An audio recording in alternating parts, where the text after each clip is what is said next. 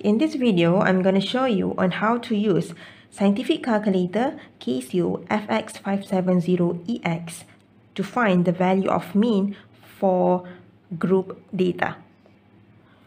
Consider this example. Uh, this, this data is, uh, is about the length of life of 50 mosquitoes. Alright, so now I have uh, 1, 2, 3, 4, 5, 6, about 6 classes. Okay, and then this is the corresponding frequency value, the number of mosquitoes. Right. So now I need to calculate the value of mean. Okay.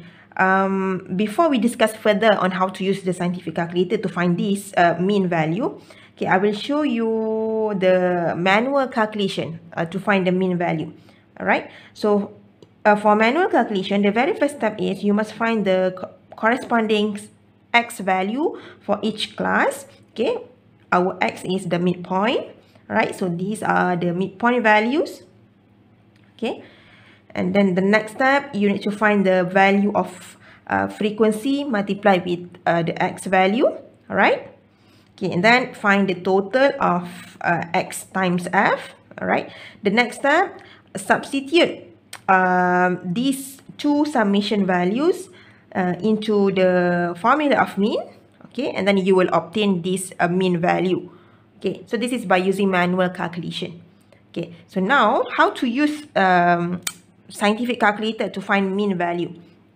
So to use scientific calculator the very first step is also to find the midpoint value the x value. Okay so you must have x in your in your table right? Okay the next step now in this calculator you need to reset the setting and memory. Okay, so to do that, you need to press shift button.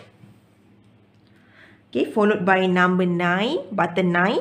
Okay, and then button 3 to initialize all. Initialize all here means we want to uh, reset the previous setting and we want to reset the previous data in this calculator. So press button 3 and then press equal for yes to initialize all. And then you can press the AC button to clear the screen of the calculator.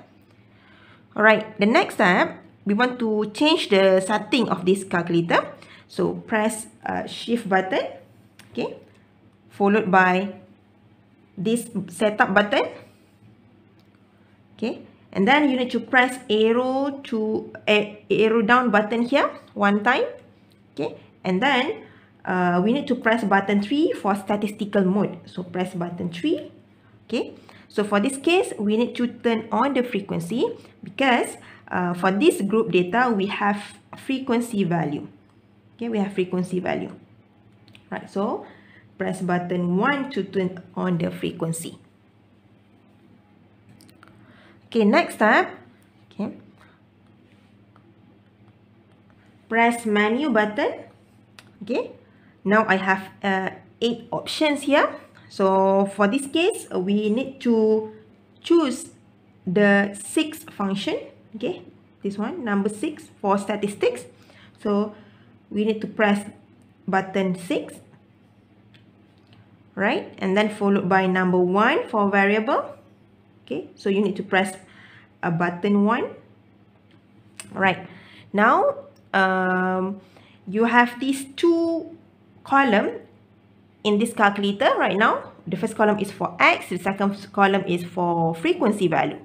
So the next step is you need to key in your data values into the calculator. So right now, my first data value is 7.5 and the frequency is 19. Okay, so what I'm going to do right now is I want to um, key in my x value first. Alright, so the first x value is 7.5. Okay, to save this, uh, you need to press equal.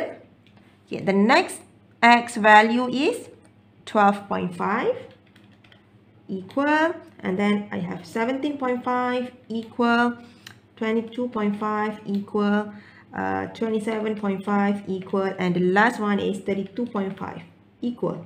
All right okay the next step I want to key in the frequency values. All right so okay you need to just uh, play around with this um, button right here.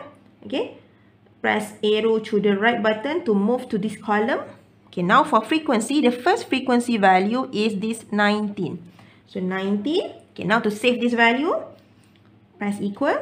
Okay, and then we have 16 equal. Okay, and then 10 equal 3. And then 1. And the last one is also 1. Alright. Okay. So right now, um, you can clear your screen. Okay, press AC button to clear the screen of the calculator. Okay, the next step is we need to obtain the summation values. Okay, because we want that summation values uh, to calculate the value of mean. Okay, alright. So now, press option button, OPTN here for option. Right, and then press button 2 for variable calculator. Press button 2. Okay. So now in this calculator screen, uh, we have few summation values. So what we need to focus is uh, the summation of x value. Okay. Summation of x here represent the summation of fx. As you can see here in this calculator, summation of x is equals to 645. Alright. Okay, next value, we want the value of summation of x sorry, summation of f because mean formula is equal to summation of fx divided by summation of f. So, for summation of f value, it is actually equivalent to n, the number of observation. So, if you press this arrow down button, okay, the next page, you will see the n value. So, now n value is equals to 50. Alright. Okay, this is the n value 50. Okay, and you can plug in these two values, 645 and 50 into um, the formula of mean. Okay, and then you can uh, calculate the value, the final value for mean. It is equals to 12.9. Okay, and actually you can also retrieve, you can also get the mean value from this calculator. Okay, as you can see from the first page, okay, now I, I need to press arrow up button. Okay, in this screen, you can see we have the value of x bar. This x bar represent the final value of mean. Okay, so now the final value of mean is 12.9. Okay, so in this calculator, other than we can uh, obtain the value of summation, we can also obtain the final value of our mean. Okay, so our mean value for this example is 12.9.